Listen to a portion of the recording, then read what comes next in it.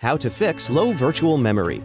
When all of your computer's real physical memory is in use, the computer uses part of its hard drive space as virtual memory. Here are some ways to fix low virtual memory.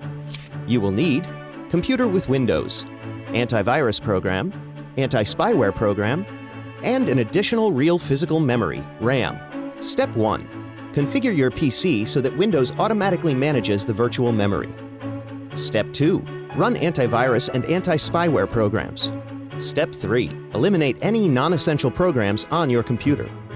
Step 4. Check the Windows Task Manager to see how much memory the programs on your computer are using. Reinstall any applications that appear to be using more than their share of virtual memory.